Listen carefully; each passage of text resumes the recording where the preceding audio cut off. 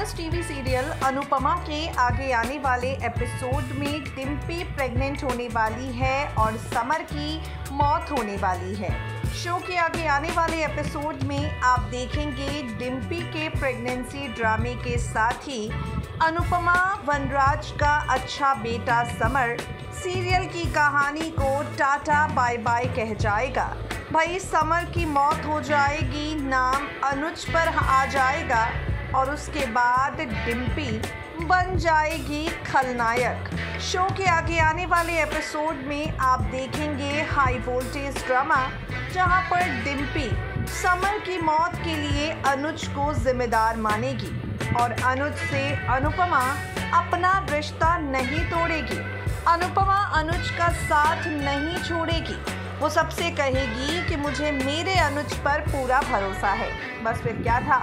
ये सब कुछ देखकर, ये सब कुछ सुनकर डिम्पी को आ जाएगा बहुत ही ज़्यादा गुस्सा।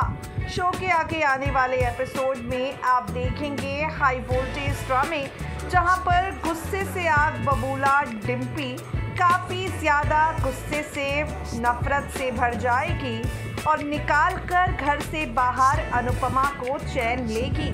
शो के आगे आने वाले एपिसोड में आप देखेंगे हाई वोल्टेज ड्रामा, जहाँ पर डिम्पी घर से बाहर अनुपमा को निकाल देगी और दोबारा कभी शाह हाउस में वापस ना आने के लिए कहेगी। सीरियल की कहानी यहाँ से किस मोड़ पर जाती है, देखना होगा।